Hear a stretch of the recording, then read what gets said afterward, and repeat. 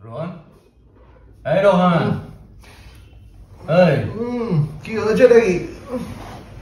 বলছি ঘুমোতে অসুবিধা হচ্ছে লাইটগুলো অফ করে দেবো